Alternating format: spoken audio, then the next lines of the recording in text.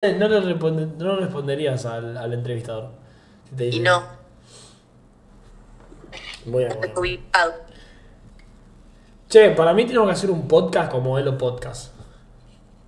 Ni en pedo. Che, ¿de qué color la tanga?